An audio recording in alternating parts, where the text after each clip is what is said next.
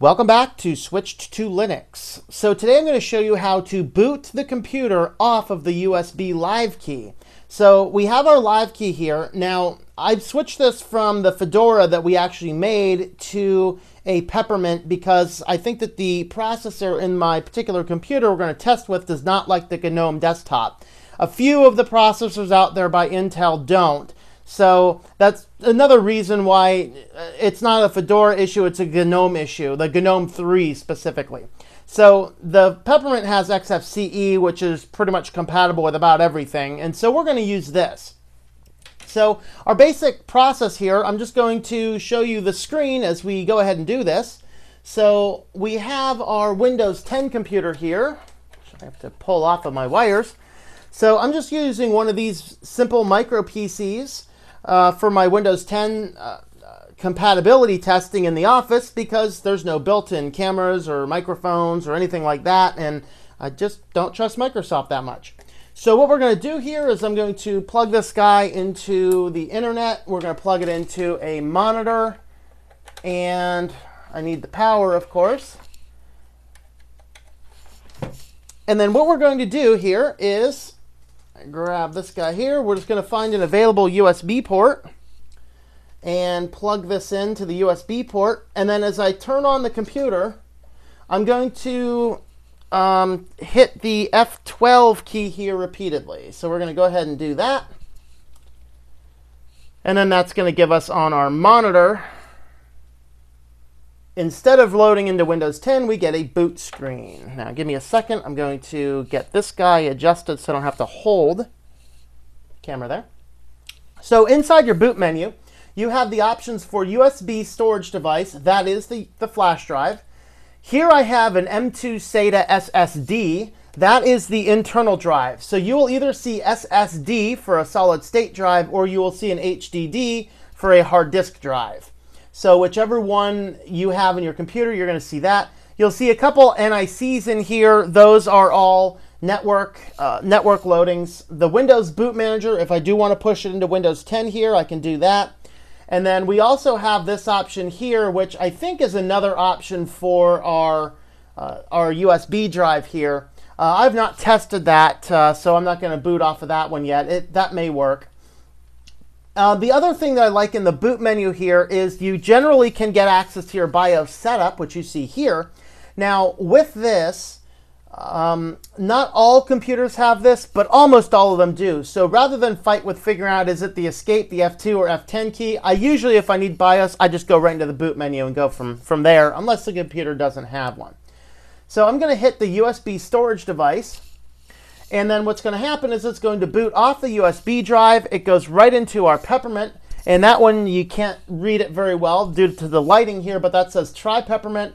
We have the install, check disk for default uh, for defects, test memory, or boot from the first hard disk. So we're going to hit the try Peppermint OS Live, and this is going to boot our computer right into Peppermint.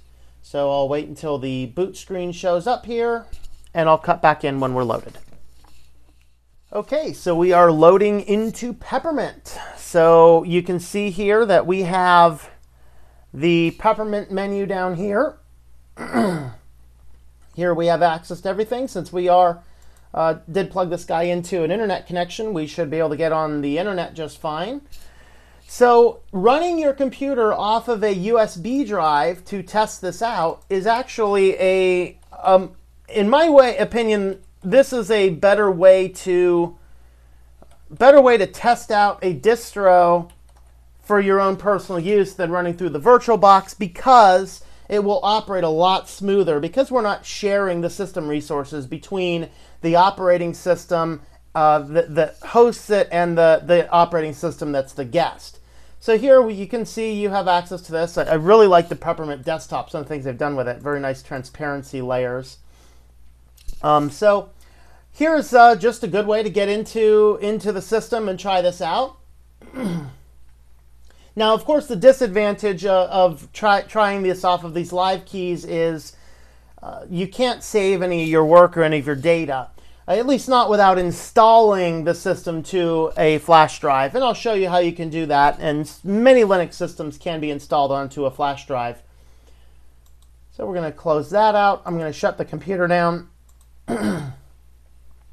and then we're going to get into the BIOS. I'm going to show you a little bit about the BIOS. Uh, I'm not going to bother cutting out because Peppermint's really fast. So it's already off. so now I'm going to turn the computer on. I'm going to spam that F12 key again.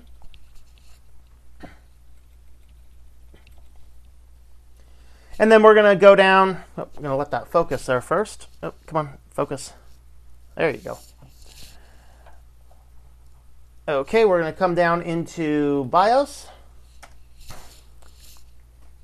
So as I said, uh, most BIOSes are, are pretty similar. Uh, there's going to be a little bit of differences here and there. But for the most part, they're going to have a lot of your same information. Um, you know, the advanced will have things like virtualization to enable uh, virtual drives, uh, integrated NICs, you know, just all this kind of stuff. What we're most concerned with is under the boot option here. So you will either have this UEFI guy listed here, Eh, or you won't have that listed at all, in which case everything's going to be legacy. In this case here, I can toggle between the legacy and the UEFI, and this is kind of as, as your default.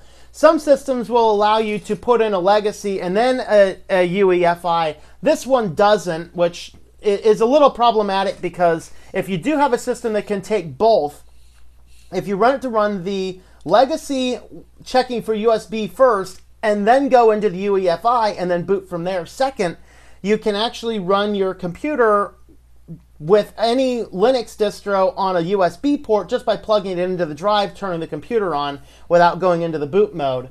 Now, my main my main Linux production computer does not have that option, unfortunately. So if I want to boot off of a key, I have to go into the boot menu. My main desktop computer has that option, and so that's very nice because when I want to boot into Ubuntu, I plug it into the back of the computer, push the power button, and it goes right into Ubuntu. If I want to boot it into Windows, I pull the USB drive out, boot it out, and it goes right into Windows. So this does not have that, that option. But in here, um, this is how you turn off your secure boot. If it's disabled, you can turn it on, on or off here. So when you disable your secure boot, it's going to give you this warning message. It says, attention, changing this setting may prevent your operating system from booting. This is just kind of a warning key. It, honestly, I've never seen any problem with turning this off, and this is the first thing I do with any computer. What Secure Boot does is it prevents another operating system from booting onto your computer, which is problematic if you are trying to test out Linux distros. So if you go to boot into your computer and you do not see the option to boot off of a USB port, that means that Secure Boot is enabled. So I'll show you what that looks like here in a minute. Now over here under your boot options, you can see that you can set the Windows Boot Manager as first. You can set the, uh, the network drivers to boot. What we can't do is we cannot set up in the UEFI mode, we can't set this up to go into a USB drive. Now if I change my boot list option to legacy, now I have the ability to do that. So if I set this up under legacy, first it's going to check for USB storage device, then it's going to check the the uh, solid state drives, then internal hard drives, because this box actually does have the capability of having a hard drive and an SSD. Uh, then we go to a CD drive, the port, and then a diskette drive if you could ever possibly hook one up to this. Now, unfortunately, I checked this, and, and this particular SSD does not have a legacy option to boot into Windows 10, so this does, is not a viable option for booting the system into Windows 10 and into a USB. So I pretty much am just going to keep this on UEFI so that it always boots right into Windows. And then if I want it to boot into Linux, I just have to hit that F12 key, get into my, my boot manager. Now we're going to enable Secure Boot at this point in time. And I'm going to hit the F10 key, which is the universal save and reset. So what we're going to do is I'm going to boot into my boot menu again. And you're going to see that the option to load into that is not there. Now, here it showed up again. I'm pretty sure if I hit this, it will not let us load, but we're going to give it a try actually, because some distros, as you burn it onto a disk, will allow both options. Let's see. Oh, try without installing. Let's give that a try. Let's see what that does. I thought that since Secure Boot was turned on, it may not let me do this. However, if Peppermint is a Secure Boot operating system, which it very well might be, it will still work. Okay, I was kind of proved wrong on that. Many distros will not let you boot into that if Secure Boot is turned on. This one apparently does. So maybe go ahead and try it with Secure Boot mode turned on. So here it looks like it booted just fine. Huh, that was actually a surprise to me. I did not think it would do that. Um, many Linux distros will not allow you to automatically boot right into there if secure boot mode is turned on. But anyway, if it if you're not able to get into there, the first thing you try, get into that BIOS, disable secure boot, and you should be set to go. So this has been Tom, and I hope that you enjoy switching to